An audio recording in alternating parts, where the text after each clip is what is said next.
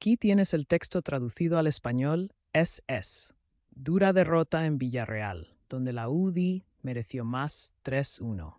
Dura derrota para la U de Las Palmas en el partido fuera de casa contra el Villarreal. En el partido de ayer, la U de Las Palmas se enfrentó al Villarreal CF y a pesar de una actuación convincente, tuvo que rendirse con un 3-1. El encuentro tuvo lugar en el Estadio de la Cerámica en Villarreal y la atmósfera fue electrizante desde el principio. Los jugadores de Las Palmas mostraron espíritu de lucha y presentaron una primera mitad sólida. Desde el principio quedó claro que el equipo de Las Palmas no estaba dispuesto a ceder los puntos sin luchar. Según los informes de los periodistas deportivos, la U Las Palmas pudo ejercer su control del juego al principio y fue fuerte en ataque.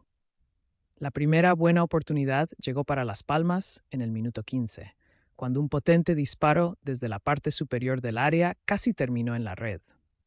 Los jugadores sintieron que tenían el potencial para lograr algo en Villarreal, sin embargo, en la segunda mitad, los anfitriones arremetieron.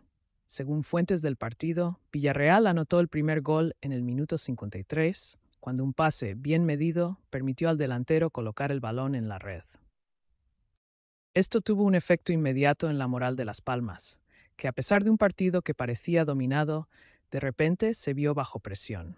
Ni siquiera habían pasado 10 minutos cuando cayó el segundo gol para el Villarreal, lo que agravó aún más la situación para Las Palmas. Aunque Las Palmas intentó responder y en el minuto 75 consiguió acortar distancias, su juego fue nuevamente interrumpido. Villarreal respondió en el minuto 80 con el tercer gol, que prácticamente selló el partido.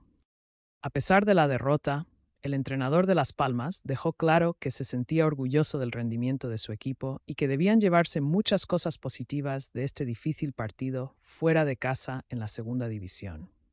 En resumen, se puede afirmar que la UDI Las Palmas, a pesar de la derrota, realizó un gran partido.